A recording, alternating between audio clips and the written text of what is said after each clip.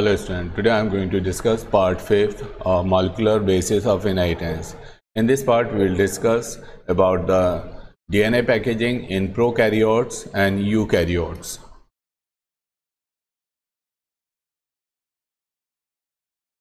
Packaging of DNA helix. The number of base pairs in E. coli is about 4.6 into 10 raised to power 6 and the length of the DNA is 1.36 millimeter. Similarly, there are 6.6 into 10 raised to power 9 base pairs are present in two human genomes of the DNA and the length of the DNA is 2.2 meter. This long size DNA are accommodated in a small size area about 1 micrometer in E. coli and 5 micrometre nucleus in humans देखिए यहाँ पर packaging of DNA helix क्यों ज़रूरी है? क्योंकि जो ई e. Coli है, इसके जीनोम का जो साइज़ है, जो नंबर ऑफ़ बेस पेयर्स हैं, वो 4.6 point six into ten as to power six base pair है। और जो डीएनए की लेंथ है, वो 1.36 मिलीमीटर है। जब जबकि ई e. कोलाई का जो साइज़ है, वो 1 माइक्रोमीटर है। तो इस स्मॉल साइज़ एरिया में एक लार्ज साइज़ डीएनए को कैसे एकोमोडेट करना है, कैसे फिट करना है, इसके लिए पैकेजिंग ज़रूरी है। इसी तरह ह्यूमन बीइंग के एक सेल के अंदर जो डीएनए है, उसका लेंथ 2.2 मीटर है, जबकि जो न्यूक्लियस का साइज़ है, वो फाइव माइक्रोमीटर है। तो इस छोटे से न्यूक्लियस के अंदर इस 2.2 मीटर लेंथ वाले डीएनए को कैसे एकोमोडेट करना है, यही चीज़ें हमें इस टॉपिक में डिस्कस करनी है। कॉम्पेक्शन एक्वायर बाय फोल्डिंग अब ये कैसे एकोमोडेट होते हैं? ये फोल्डिंग होते हैं इसमें फोल्डिंग होती है। Attachment of DNA with basic protein non histone in prokaryote and histone in eukaryote prokaryotes के अंदर जो फोल्डिंग होती है, उसमें डीएनए और नॉन हिस्टोन प्रोटीन्स के बीच में ये फोल्डिंग पाई जाती है। और यू कैरियोट्स के अंदर डीएनए और हिस्टोन आपस में मिलकर ये फोल्डिंग और पैकेजिंग करते हैं।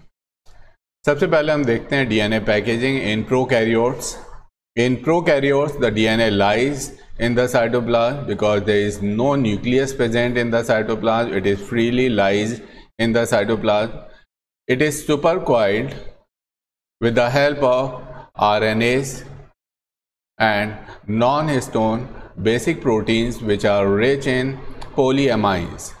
The compacted mass of DNA is called nucleoid. तो प्रोकैरियोट्स में बहुत सिंपल टाइप की पैकेजिंग होती है, वहाँ पर कुछ नॉन हिस्टोन बेसिक प्रोटीन्स जैसे पोलीअमाइंस के साथ डीएनए रैप्ड होता है और एक कॉम्पैक्ट स्ट्रक्चर बनाता है, जिसको हम न्यूक्लॉइड कहते हैं।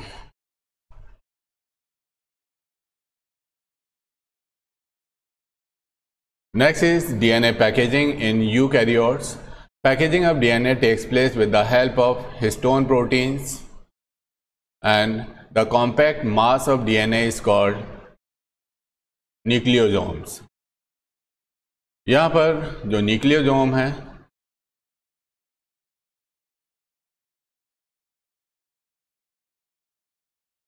it consists of two part DNA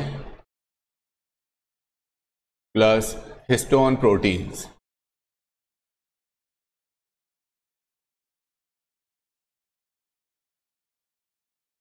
तो डीएनए और हिस्टोन प्रोटीन मिलकर जो स्ट्रक्चर बनाते हैं, उसको हम न्यूक्लियोजोम कहते हैं।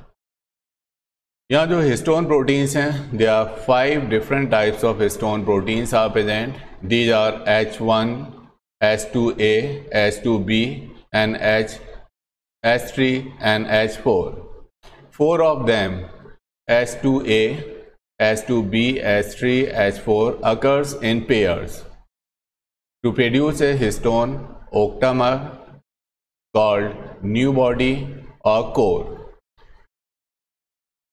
ये फाइव हिस्टोन प्रोटीन्स में से four H two A H two B H three H four ये पेयर्स में पाए जाते हैं, क्योंकि ये फोर हैं और पेयर्स में पाए जाएँगे तो टोटल एट हो जाएँगे। और एक ऑक्टामर बनाते हैं। इस ऑक्टामर को हम न्यू बॉडी या कोर कहते हैं। यहाँ पर आप देख सकते हैं कि अगर ये एच टू ए है, ये H two B H three H four इसमें एक एक पीछे की तरफ़ है तो ये भी एस टू ए हो जाएगा, ये एस टू बी ये पीछे की साइड में एच थ्री और ये एच फोर तो टोटल यहाँ पर एट हिस्टोन प्रोटीन्स हैं। इन एट हिस्टोन प्रोटीन्स के ग्रुप को हम ऑक्टामर कहते हैं। या आ, इसको हम न्यू बॉडी या कोर कहते हैं। About 146 base pairs of DNA is wrapped over core for one whole 3 upon 4 turns यानी ये करीब दो टर्न से कम बार ये हिस्टोन प्रोटीन के चारों तरफ़ रैप्ड होते हैं और ये करीब वी कैन से 1.75 टर्न्स यानी ये दो टर्न से कम रैप्ड होते हैं और इस स्ट्रक्चर को हम न्यूक्लियोजोम्स कहते हैं। यहाँ पर हम देख सकते हैं कि ये जो ऑक्टामर है, इसको हम ऑक्टामर को हम कोर या न्यू बॉडी कहते हैं और इसके चारों तरफ़ ये डीएनए रैप्ड है। ये डीएनए है जो स्टोन प्रोटीन या ऑक्टमर या कोर के चारों तरफ़ रैप्ड है।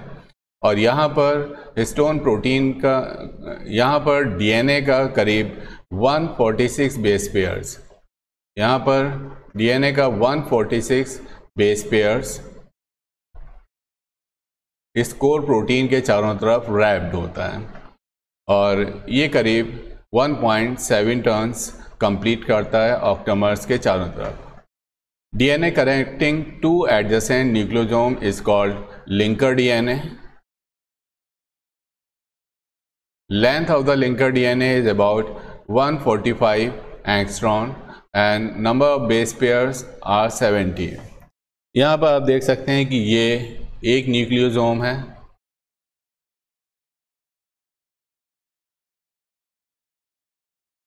ये दूसरा न्यूक्लियोजोम है।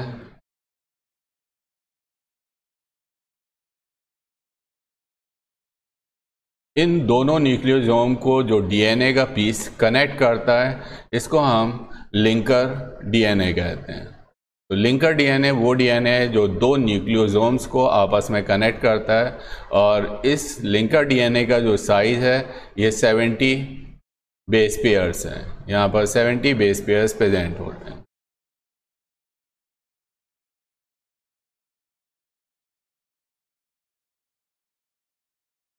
The nucleosome and linker DNA together constitute chromatosome यानी क्रोमेटोजोम क्या चीज़ होगी? लिंकर डीएनए और न्यूक्लियोजोम मिलकर क्रोमेटोजोम बनाते हैं। Nucleosome chain gives a bead on string appearance nucleosome बनने की वजह से जो डीएनए है, वो एक बीडेड स्ट्रक्चर की फॉर्म में दिखाई देता है। The beaded string is coil to form solenoid having six nucleosomes per turn इसमें फर्दर कॉलिंग होती है और जो बीडेड स्ट्रक्चर है, जो क्रोमेटोजोम है, इसमें सुपर कॉलिंग होती है और एक सोलिनॉइड बनता है। सोलिनॉइड में six nucleosomes are arrange per turn यहाँ पर आप देख सकते हैं कि ये एक सोलिनॉइड है। यहाँ पर six one two three four five and six six nucleosomes are arrange per turn.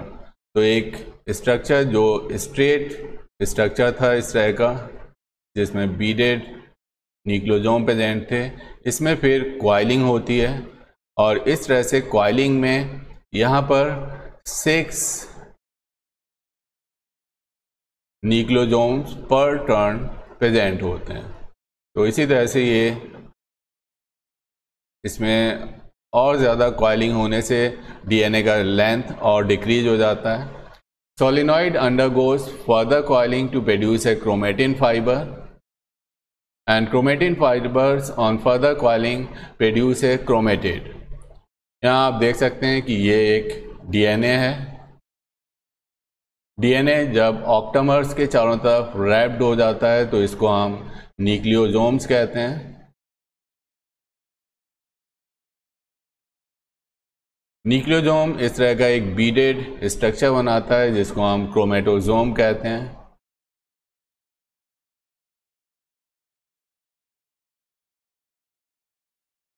Chromatosome में सुपर क्वालिंग होती है और सिक्स पर टर्न वाला एक स्ट्रक्चर बनता है, जिसको हम सोलिनॉइड कहते हैं।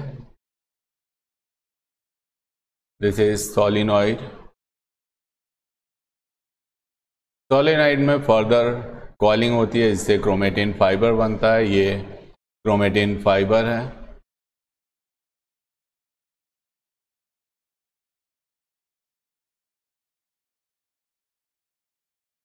और क्रोमेटिन फाइबर में फर्दर कॉलिंग होने के बाद ये क्रोमेटेट्स बन जाते हैं। तो यहाँ पर डीएनए सबसे पहले स्टोन प्रोटीन के चारों तरफ़ रैप्ड होता है और एक न्यूक्लियोजोम बनाता है। न्यूक्लियोजोम और लिंकर डीएनए को एक साथ हम क्रोमेटोजोम कहते हैं।